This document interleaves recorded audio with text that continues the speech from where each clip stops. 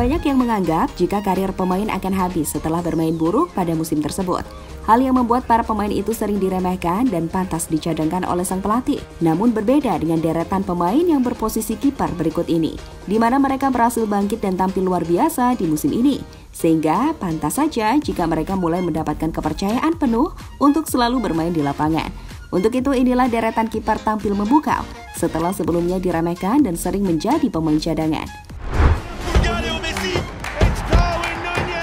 Cristiano Ronaldo, Erling Haaland. Mark Andre Ter Stegen.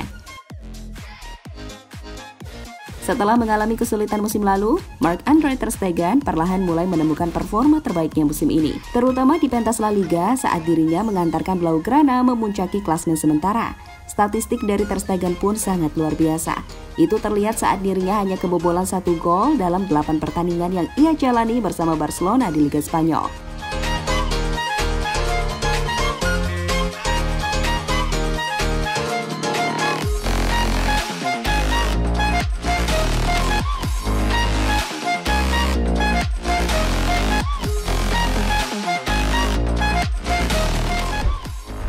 Uzo. Nama ini tentu mengejutkan bagi kalangan pecinta sepak bola. Tapi jangan salah, jika kiper asal Nigeria tersebut mampu menunjukkan penampilan gemilangnya saat menghadapi Manchester United di ajang Europe League. Ya, dalam laga itu Uzo mampu melakukan 12 penyelamatan krusial, sehingga membuat barisan penyerang United sempat frustasi dengan deretan save yang dia lakukan.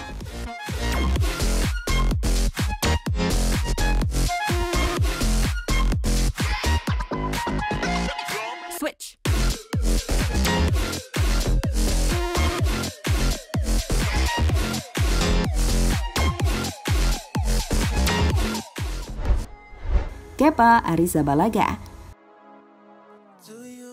Pada musim ini Chelsea mengawali musim yang sangat mengecewakan. Itu terjadi setelah performa Edward Mendy yang menurun, sehingga puncaknya Thomas Tuchel harus kehilangan pekerjaannya sebagai pelatih. Graham Potter yang ditunjuk sebagai penggantinya langsung membuat beberapa perubahan. Salah satunya adalah pengganti Mendy dengan Kepa Arrizabalaga. Dan keputusan Potter itu terbukti tepat saat Kepa tampil menawan di bawah Mister The Blues.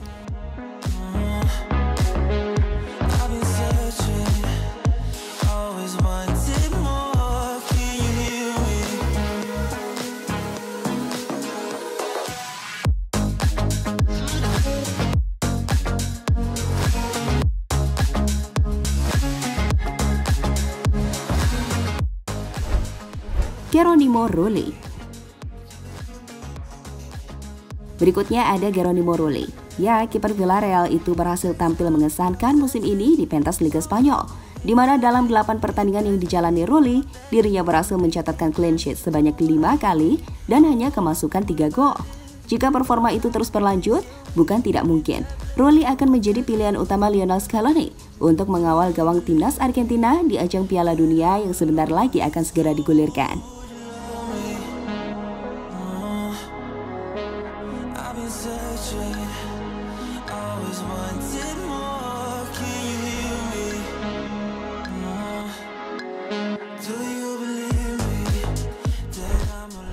Gianluigi Donnarumma. Setelah sering menjadi cadangan musim lalu, Donnarumma perlahan bangkit pada musim ini. Hasilnya, kiper asal Italia itu kini menjadi pilihan utama Christopher Galtier di barisan pertahanan terakhir Paris Saint-Germain. Tampil sebanyak 10 kali di Ligue 1, Donnarumma berhasil mencatatkan 6 kali clean sheet dan hanya kemasukan 5 gol. Sebuah statistik yang tampaknya membuat Keylor Navas harus mencari klub baru di bursa transfer mendatang.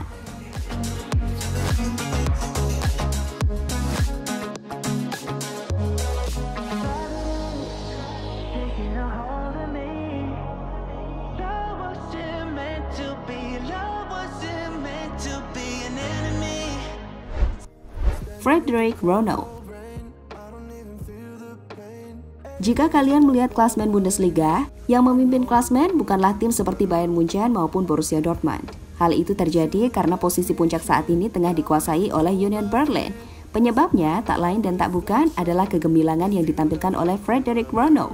Ya, kiper asal Denmark itu mampu tampil cemerlang dengan menjadi kiper yang paling sedikit kebobolan di pentas Bundesliga musim ini.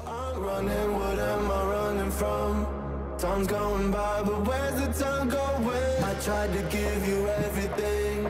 You took it all and took it for granted. If you're still falling out of love. Unai Simon Pantas jika kiper yang satu ini mendapatkan panggilan ke timnas Spanyol. Bagaimana tidak? Karena penampilan Unai Simon di bawah Mister Athletic Bilbao memang sangat mengagumkan. Itu diperlihatkan Simon saat dirinya mencatatkan 4 kali clean sheet dan hanya kemasukan 5 gol dalam 8 laga yang sudah ia jalani. Bahkan berkat performa apiknya itu, Bilbao kini duduk di peringkat ketiga klasmen sementara La Liga.